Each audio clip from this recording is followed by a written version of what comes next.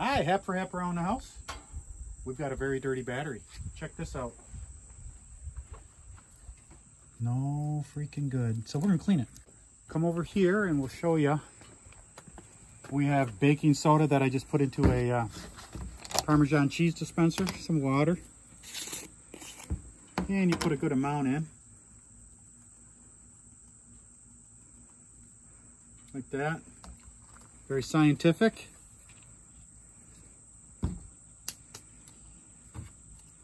Mix it up.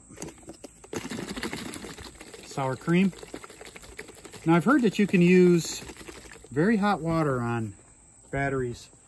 Um, dump boiling water on it, but I don't want to dump boiling water on a battery for pretty obvious reasons.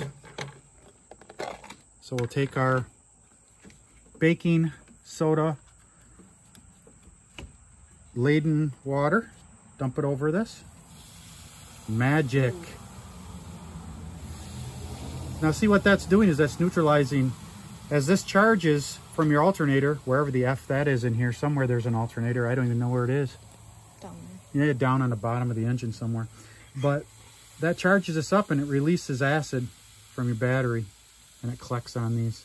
Very important you keep it clean or else come some January or February night, you're gonna go to start it and you're boned.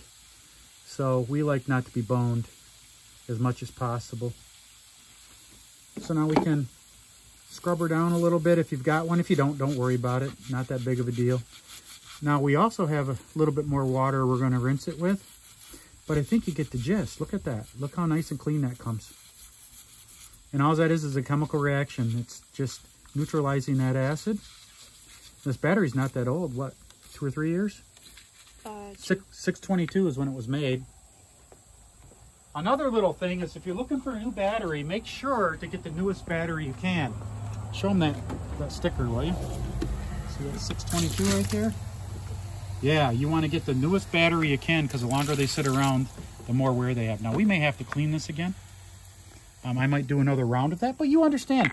To keep it clean and also grab them and make sure they're tight, and these are tight, and also make sure your battery's tight, and it is. Even though the strap is rotten in half, it's rotten. Look at that.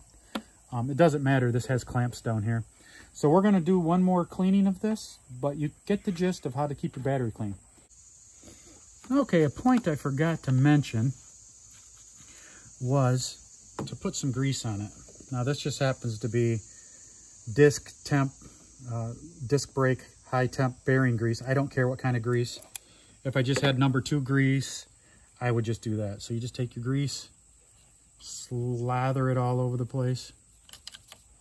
And you want to get a decent coat on there, not enough to go crazy with. And make sure it's dried off so it'll stick. But that looks so much better than when we started. Um, and this will help to keep it from getting all covered with that blue fuzz again. Um, and in actuality, this actual clamp is kind of getting corroded. So at some point, we, we may want to change that. But at this point, it'll still run. It'll run just fine like that. So just coat it up with that, like that, and that'll help keeping it, uh, help keep it from getting all corroded again. Just like that. Isn't that beautiful? I think they sell a spray. I've never used a spray. I've always just done this, and this works pretty good. So there it is. Hap for Hap Around House. If you liked the video, hit the like button. Consider subscribing to our channel. Thanks for watching. See you next time.